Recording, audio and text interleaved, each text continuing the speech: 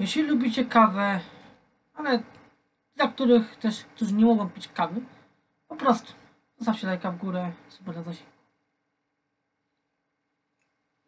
A to Barkawa, oczekujcie nowości.